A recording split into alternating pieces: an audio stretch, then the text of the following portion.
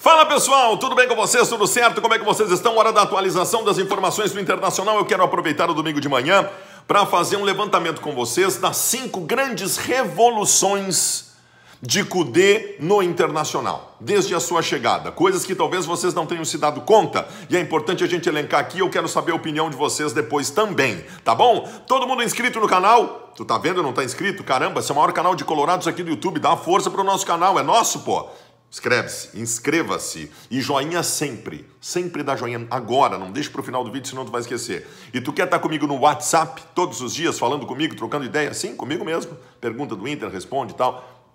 Também tem sorteio de camiseta, já teve sorteio de ingresso, conteúdo especial. Tudo isso no Seja Membro, aqui na capa do meu canal. Seja membro assinante e vem comigo no WhatsApp. E agora chega mais, que chegou a hora do Top 5 especial. O técnico as suas revoluções no Internacional. A primeira e a mais importante, a conceitual, aquela que baseia tudo que a gente vai fazer e vai falar nas outras coisas que ele revolucionou. Um time para frente, uma ideia de futebol de obsessão de ataque uma ideia de futebol de estar sempre no campo ofensivo. Cudê é assim desde sempre.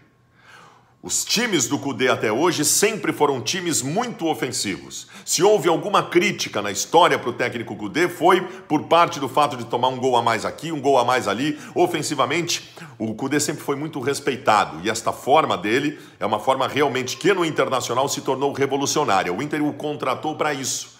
O Inter até entende, e eu entendo também, que neste processo de reconstrução que o clube viveu nos últimos anos, haviam resguardos. Havia a necessidade de tu fechar a casinha, especular, porque o Internacional estava se recuperando, até a autoestima recuperando, então tudo era muito complicado. Então esse corte com o Cudê era importante. O Inter trouxe um técnico obsessivo pelo ataque. E esta é a grande revolução, a conceitual maior do que todas. O segundo ponto importante, que talvez vocês não saibam. O Cudê é um obsessivo por trabalho.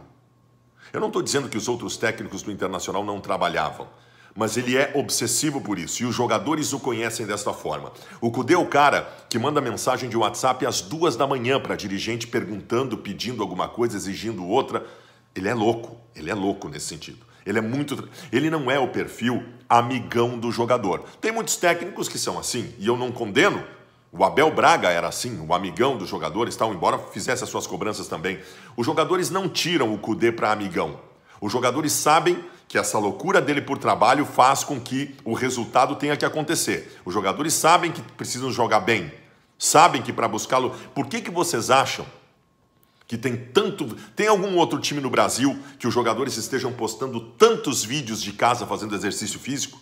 Tem algum outro time do Brasil? É um aqui, outro ali. No Inter, todos os jogadores passam o dia inteiro postando vídeo que estão trabalhando em casa porque eles sabem que o Cudê está de olho. Então, assim, essa é a segunda revolução. Não, não tem amiguinho. O Cudê exige trabalho. E ele é obsessivo por isso. Ele trabalha 24 horas por dia. Ele é louco nesse sentido. Terceira revolução. E aí eu entro nas questões do time. Defensivamente.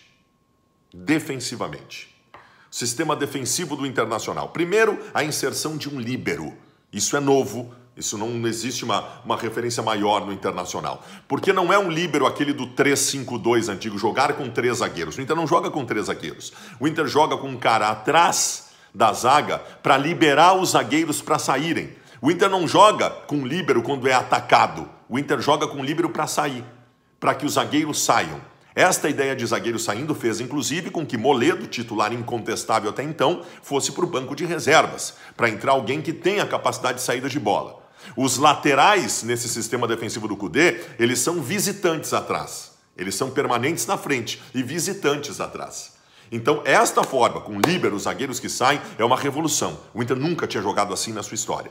E é uma revolução que faz com que até agora o Inter, em 15 jogos, tenha tomado 7 gols. Essa é uma média fantástica, é média de time campeão.